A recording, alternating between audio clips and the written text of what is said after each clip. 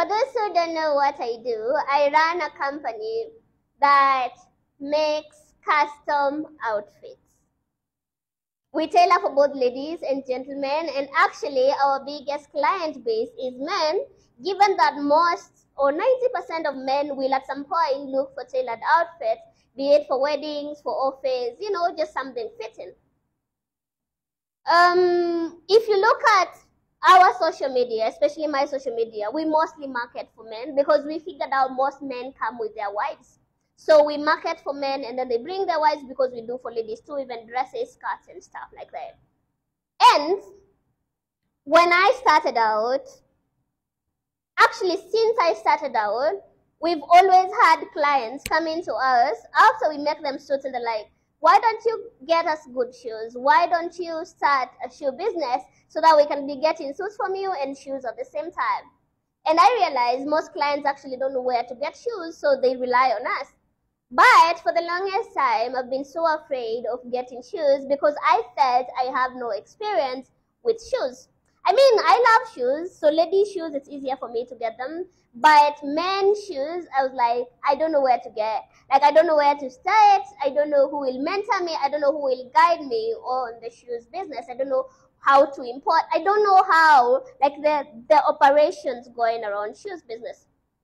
Last year, it was like one of my goals. Even if you walk to my bedroom, you'll just find it was, you know, one of my biggest goals, like to start a shoe business.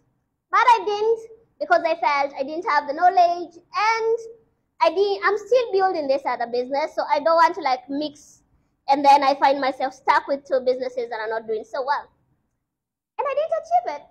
But this year, I, I sat down and asked myself, what would I exactly do? Like, even with my business, I didn't start like big. I didn't wait until I had enough money to just open a business. I started where I could with whatever I had. And I've worked towards building the business, you know, slowly by slowly and growing it. And I said, I think I can do the same for the shoes business. And yeah, like the biggest thing you'll ever do is dive into something that you feel you don't understand. And another thing, another biggest fear I had was getting shoes for clients and then they're not of quality. So, yeah, this is a big step for me and I thought I should share. So what did we exactly do? Let me show you. Come with me. This is what we did.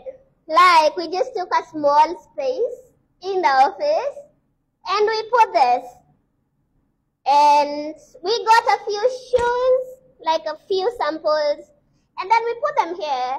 And that was like the, the, the most courageous thing we've done, like especially myself, I've done this year.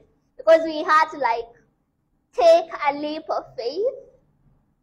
And yeah, this is how it looks. It doesn't have many shoes, like we've not stocked it, but we put it here for clients who come and they're in a rush and they need shoes.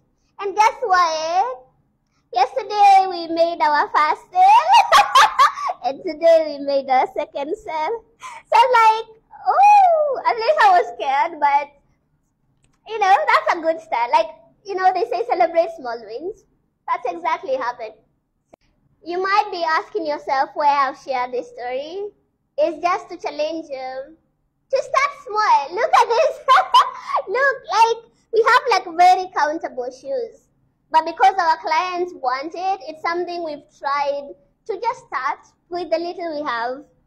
And if you have a goal, if you have a dream, if you have a vision to do something, then let this motivate you. Like, we are not in a position to start a big shoe factory, or I mean, a big shoe company right now. But for the few clients who are asking, we can have something for them and also get to understand what the clients are looking for. And then we bring it to them.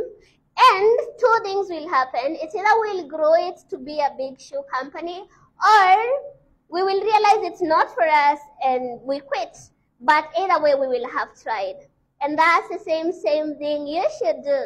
Start small. Go after your goals and I think they say celebrate small wins. This is a small win, and this is a, a sign of confidence. Like, it takes a lot to just put something new or an industry that you know it. Remember, I know nothing about shoes. But yes. So, two cents. Let's see how this goes. Bye.